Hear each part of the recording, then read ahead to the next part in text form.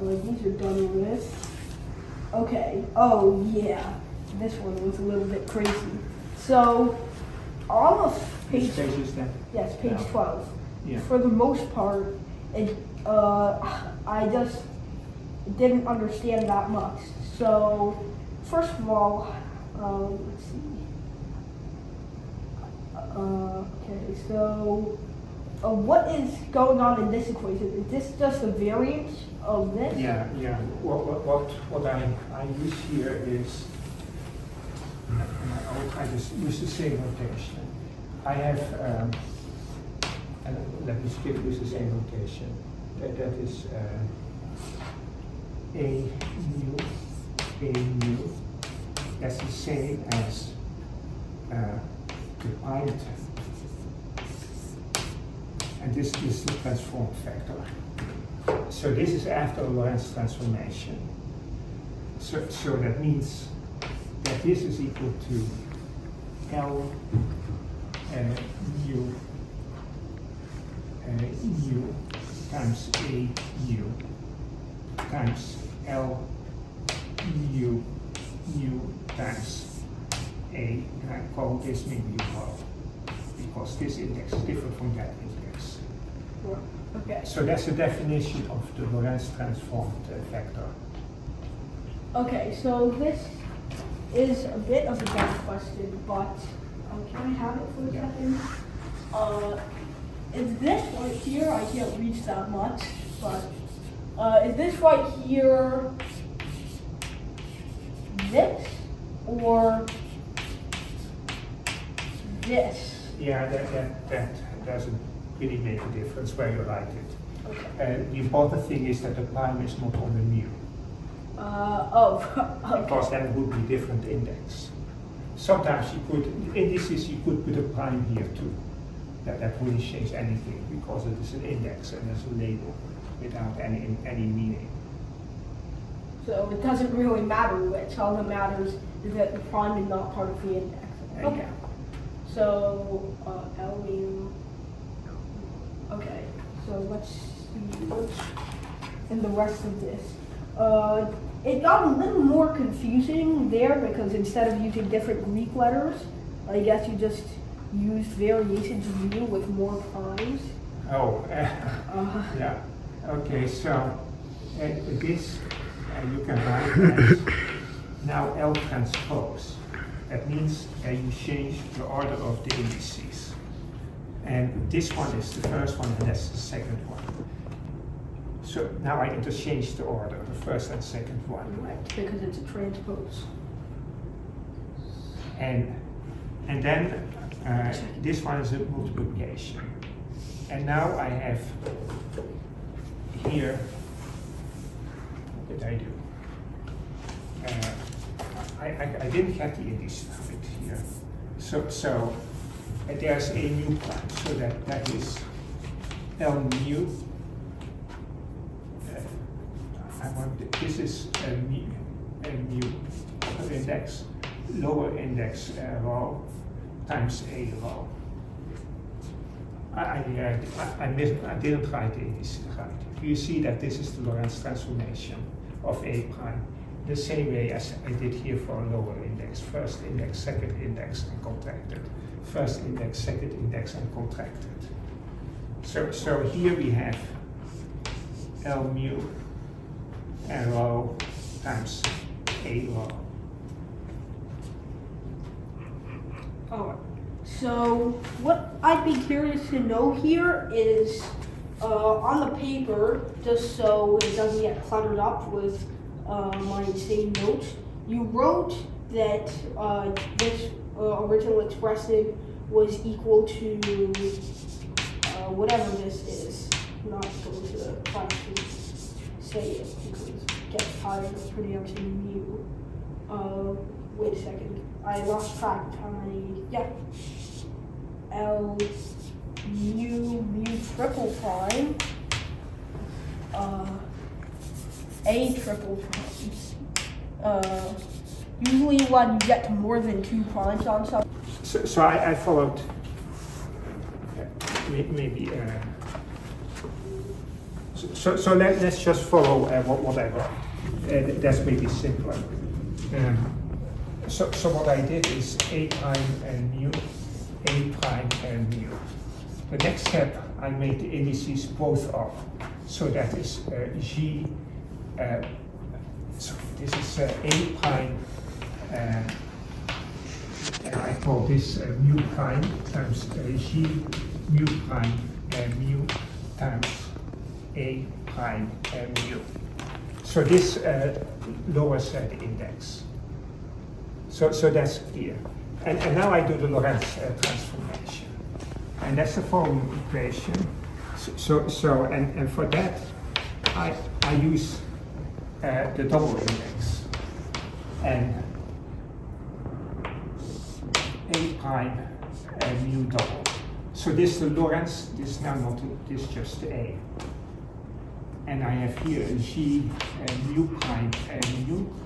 And here I also do a Lorentz transformation. I call this uh, the triple. Uh, uh, this is the mu. This is the second index, uh, triple times a uh, triple certainly a lot of indices and a lot of algebra. Uh, not, not that much. I can call, for example, this a rho. And, and this is a mu prime mu. And I call, can call this, uh, say, uh, phi. I feel like we're starting to run out of Greek letters here. No, no. Uh, so, so and, and now I have to bring it in, in, in the same combination as I have here. Because I want to make the equality that this is equal to A mu times A mu. So I want to get the, the A to the right. So this is A rho. Then I put this in the matrix multiplication. So I interchange uh, the indices. I put the transpose there. Then this is a nice multiplication, G mu prime and mu. And this also, the index is in the right place, A mu uh, phi, and this is uh, a uh, phi. And now you see that th this is actually a, a, lower index. But this one, we can also write as, let me now write it as A rho, uh, G uh, rho uh, mu times A mu. And, and now uh, you, you see, uh, and, maybe I call this phi. I can change the names of indices. And, and, and now if you compare these two, uh, these on, on the sides, they are the same. And that means this is true for all A's.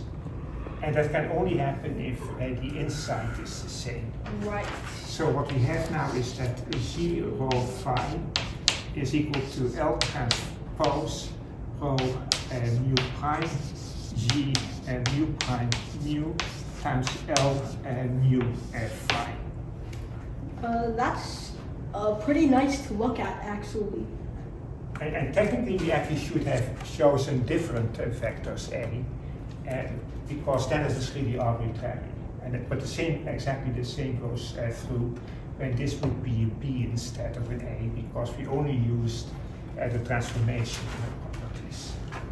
And, and, now you see that th this is uh, like a matrix multiplication. So if this is a matrix L transpose, this is uh, G times L that must be equal to G. And now these are just 4 by 4 matrices. And then we, we, we know how to simply multiply them, there are no indices, and just solve this relation for L. That is the goal. So what kind of matrix matrices satisfy these relations? Uh, I know we did derive these. I'm sure there's probably a bigger answer, but wasn't I know the oh, general one for four dimensions is pretty huge, but wasn't the answer for the, the two-dimensional one or the two-by-two matrix yeah. uh, not this? That, that, that's right. That's right. And in, indeed, if you take only a two-by-two block out of these, and you, you, you find that a solution. But there's more. And because this was just one time, this, this was for a one-time coordinate and, and one space coordinate. But in fact, uh, three spatial, three spatial coordinates. And that is why this is a 4 by 4 matrix uh, relation. And the additional things what you can have is, if you have uh, three spatial coordinates, you actually can rotate the coordinate system. And rotations are a solution uh, of this uh, thing. And the simple reason is that if you look at, at the spatial part, uh, the spatial, uh, and here the spatial, the spatial is just the identity. And, and then you have the identity is uh, L transpose L. So, so, so you, we look for these solutions. Matrices, these are.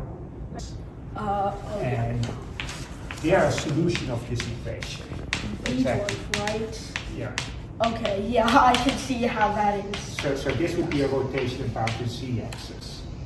You understand why, why this is a rotation when you put a one in there? Why this is a rotation about the z-axis? Uh, oh, this is for two dimensions. I don't think we ever Yeah. talked about anything in 3D. Now, yeah, but I now I talk about three dimensions. Right, okay. Uh, So why is this a rotation about the z-axis? Uh, let's see. I mean, my first instinct is just to test it with something with zero y coordinates. So what is the z-axis? The Uh, z direction. zero z coordinate. So, If thi- this is x and y and z, what would be the z direction of the z-axis? uh, the direction of I, I feel like I'm going to give it. No, just as vector. Uh, okay. Um, which one is the z direction? This. Mm-hmm. So uh, zero, zero, Zero one. one. Okay. So it's simple. And if you act with this on uh, 0, 0, 1, what happens? Uh, hopefully it should leave it unchanged, right? Uh, yes. Uh, so let's see. Uh, do, do, do. Okay. Uh, that one zero. Do, okay, zero one. Okay. Yeah. So, so you see that the z-axis doesn't change. And if you rotate about the z-axis, the z-axis doesn't change. So you see that this is a rotation about the z-axis.